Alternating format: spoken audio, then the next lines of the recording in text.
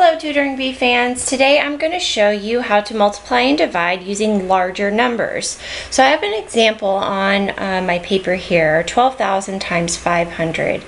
Um, so a lot of times when I have students who are just learning how to multiply or they've learned their basic multiplication facts and then they start to get to these larger numbers, they kind of freak out a little bit and, and go, oh, I don't know how to do that because they're such big numbers. But really, it's not that that difficult. I show them just an easy, quick little trick, and uh, everybody always really loves it. And it's a lot faster, easier method.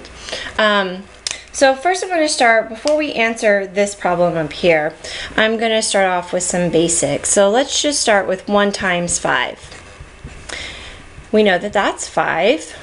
If I start wanting to multiply times multiples of 10, so for example, if I wanted to do 1 times 50, this is basically the same problem because I can just cover up that 0 and still do 1 times 5, and then however many zeros is in my original problem, I tack on to the end of that number and that becomes my answer. So 1 times 50 is 50. Of course we know 1 times any number is just that same number, so let me give you a little bit different example. How about 3 times 50? Works the same way. I can just cover up that 0. It, I do 3 times 5, which is 15, and then I've got a 0 right there, so I just tack on another 0 right there. So my answer is 150. And it works with all the multiples of 100, multiples of 1,000, multiples of 10,000, and so on. So this would be 15 with two zeros at the end okay? Even if I do this, cover up all of the zeros in my problem, so I want to do 3 times 5, which is still 15, and then in my problem I have 1, 2, 3 zeros, 1, 2, 3 zeros in my answer. So I come up with 15,000. Don't get confused by products that have a zero at the end. So for example, 4, 40 times 500. If I use my, my little trick, I do 4 times 5, that equals 20. A lot of times this zero right here will get uh, students a little bit confused. You still, this is still your, your main product for 4 times 5. And then you still have one, two, three zeros to add on to the end of that number. So don't let them get confused with that. Same thing, I mean, we can do this with much larger numbers, and it's still 4 times 5 is 20, so that's our base of it, and then we've got 1, 2, 3, 4, 5. 1, 2, 3, 4, 5. And then I always tell my students, go in after you have everything written out and put in your commas, because a lot of times they'll want to, you know, put those commas in as they're writing them. But um, it's a lot easier if you wait till the end. Okay, so now let's go back to our original problem that I have written up here. Now that I've shown you this neat little trick, it's not so difficult. I can see that my significant numbers, significant numbers are just any number that is not a zero in a problem. So my significant numbers are 12 and 5. 12 times 5 is 60.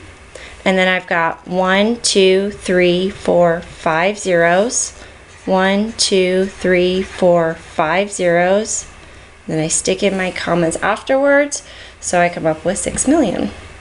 Okay, I'm also going to show you how to do this same trick with division. With division, it pretty much works the same way. You want to use those significant numbers so let's start off with an easy one. 4 divided by 2. Well, that's 2. If I have 40 divided by 2, I still am just looking at my significant number. So 4 divided by 2 is still 2. And then I've got that 0 on the end. It's really important to, to ask yourself, does my answer make sense? When you're trying these little shortcuts or tricks, you always want to look at your answer and say, okay, is this a reasonable answer for 40 being divided into two separate groups? Well, 20 makes sense in this case. Same thing with 400. I'm just going to look at uh, my significant numbers. 4 divided by 2 is 2. I've got two zeros in my problem, so I stick two zeros on the end. Okay? What if we have something like this?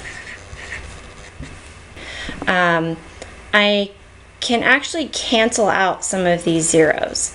So when you're dividing, if you've got any zeros in this second portion, the divisor, you can actually cancel out a zero from this first number right here as well.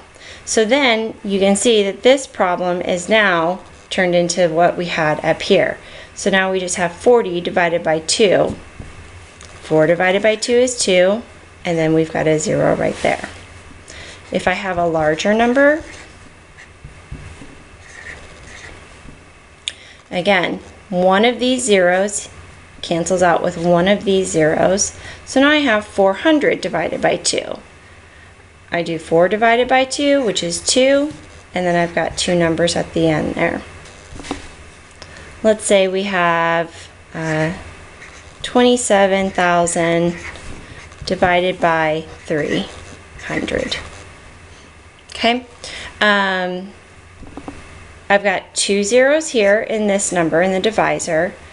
I'm going to take two zeros away from the dividend, and then that means that I'm left with one zero here, but my significant numbers are 27 and 3. Okay, so I'm just going to ignore all of this, and then I've got 27 divided by 3, which is 9. And then I've got that 0 right there. So my answer is 90.